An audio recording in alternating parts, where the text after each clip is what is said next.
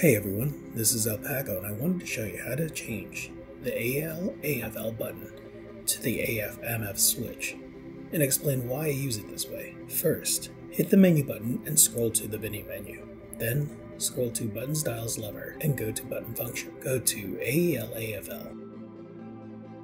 You can change this button to perform several different functions, but I prefer using this to switch autofocus to manual focus.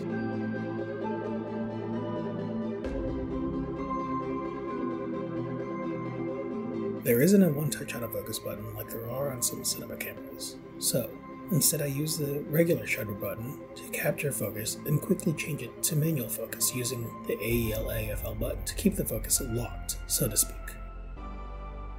Just a note, AFL does not work in video mode. I switch it to mode 3, which can allow that button to act as a back button autofocus.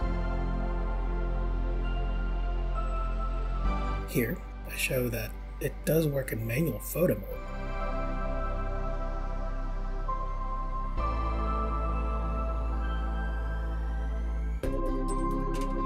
Then I quickly switch to video mode to show you that it still acts as AEL instead of a sort of back button autofocus.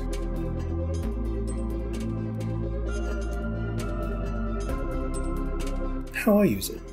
I simply point at the subject and press the shutter halfway to acquire focus and quickly switch it to manual focus and then press record. The reason I do this is simple. I don't like using autofocus for these shots because 1. It doesn't look natural, and 2. Depending on the light or sheen of the product and background, the camera can hunt while you're moving, and I prefer that does not happen. Here you can see me working on a video for a local furniture store. I acquire focus and switch to manual focus, performing the movement I want while keeping the point in focus. I hope this helps you. Thanks for watching and have a great day.